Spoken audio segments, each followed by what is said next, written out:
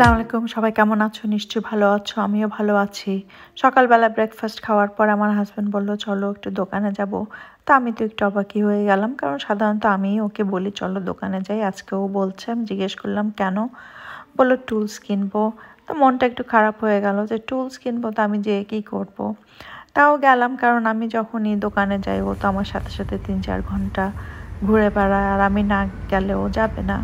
তো আমি বললাম, তুমি টুলস দেখো, আমি বাগানে দেখি, বাগানে কি আছে গার্ডেন সেন্টারে তো গাছে দেখলাম অনেকই গাছ আছে, আর টুলস তো ও দেখছি, দেখেই যাচ্ছে। কি টুলস কিনবে জানি না, কারণ এত টুলস বাসার মধ্যে। আর এই গাছগুলি ক্রেসেন্থিয়াম এগুলি উইন্টারে আসে, খুবই সুন্দর, আমিও একটা কিনলাম। মানে পুরা উইন্টারই এগুলি ফুল দেয় আর নানান কালার নানান শেপ আছে। তো আমার হাজব্যান্ডও টুলস কিনলো একটা। আর এই বেতের জিনিসগুলি দেখছিলাম, খুবই ভালো লাগছিল। মানে ফিনিশিং এত সুন্দরভাবে করেছে ওরা। তা আমি ভালো আমাদের দেশে এত সুন্দরভাবে কেন ফিনিশিংটা করে না? আমাদের দেশেরগুলি কেনা আনলে সাথে সাথেই ছিঁড়ে টিড়ে যায়। তো এই তো আমার হাজব্যান্ড টুলস কিনে নিয়ে আসলো, এসে খেলছে ঘরের মধ্যে, বাচ্চাদের মতো আর কি।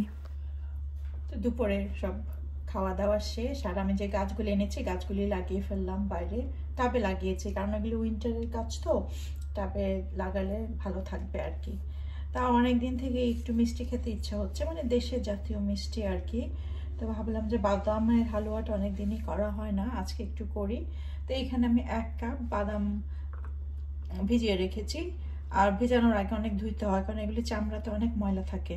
আমি ঘন্টাখানেক ভিজিয়ে রেখেছি, এখন চামড়াটা খোলা যাবে, কারণ অনেক নরম হয়ে গেছে, এখন চামড়া ইজিলি চলে আসবে আর কি। আর এই বাদামের হালুয়াটা কিন্তু অনেক মজা লাগে।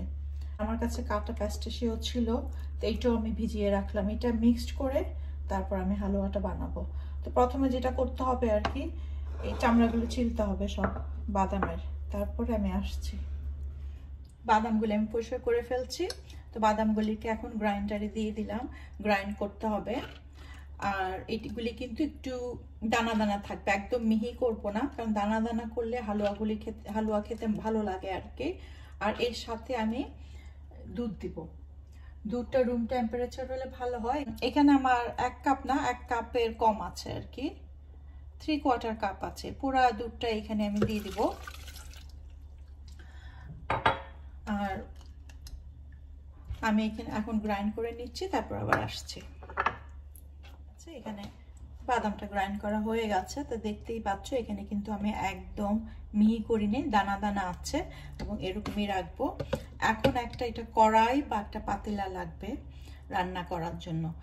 তো এখানে আমি পাতিলা দিয়ে দিলাম। পাতিলাটা একটু হেভি হলে ভালো হয়, আর যেটাতে লাগবে না, কারণ হালুয়া টালুয়া তো লেগে যায়, খুব তাড়াতাড়ি আর নাড়তে হবে। সেজন্য একটু হেভি বেস পাতিলা দিলে ভালো হয়।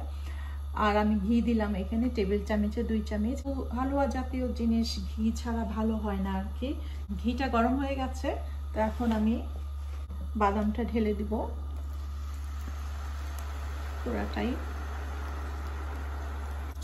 আর চিনিটা রুল নাই যে কখন দিতে হবে। অনেকে সাথে সাথে দিয়ে দেয়। আবার অনেকে একটু ভুনে তারপরে দেয়, তো আমি একটু ভুনে তারপরে দিব চিনিটা। কালারটা বাদামের কালারটা যখন একটু চেঞ্জ হবে, তখন আমি চিনিটা দিব।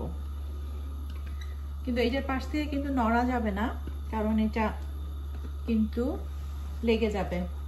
এটা সমানই নাড়তে হবে।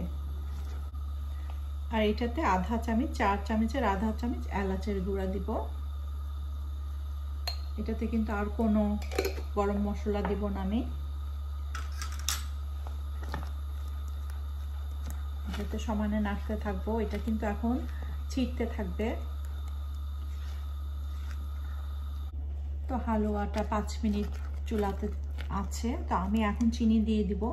আর চিনিটা তোমাদের টেস্ট অনুযায়ী দিবে। হালুয়াতে কিন্তু চিনি বেশি না দিলে ভালো লাগে না। মানে খুব বেশি না, কিন্তু চিনি দিতে হয় হালুয়াতে। তা না হলে হালুয়ার টেস্ট হয় না। তা আমি অল্প করে দিব, তারপরে যদি দেখি যে আবার লাগবে, তখন আবার দিব।